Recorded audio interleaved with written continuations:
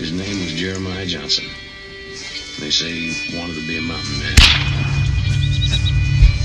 Story goes that he was a man of proper wit and adventurous spirit, suited to the mountains. Nobody knows whereabouts he come from, and don't seem to matter much. He was a young man, and ghosty stories about the tall hills didn't scare him none. He was looking for a Hawken gun, 50 caliber or better.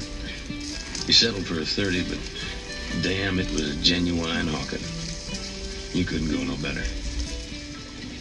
Bought him a good horse and traps and another truck that went with being a mountain man and just said goodbye to whatever life was down there below. This here's his story. Jeremiah Johnson made his way into the mountains, betting on forgetting all the troubles that he knew.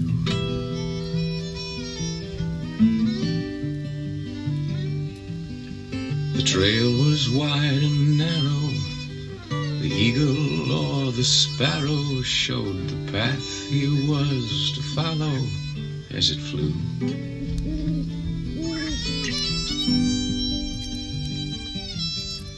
A mountain man's a lonely man and he leaves a lot behind. It ought to have been different, but you oftentimes will find that the story doesn't always go the way you had in mind. And Jeremiah's story was that kind. Jeremiah's story was that kind.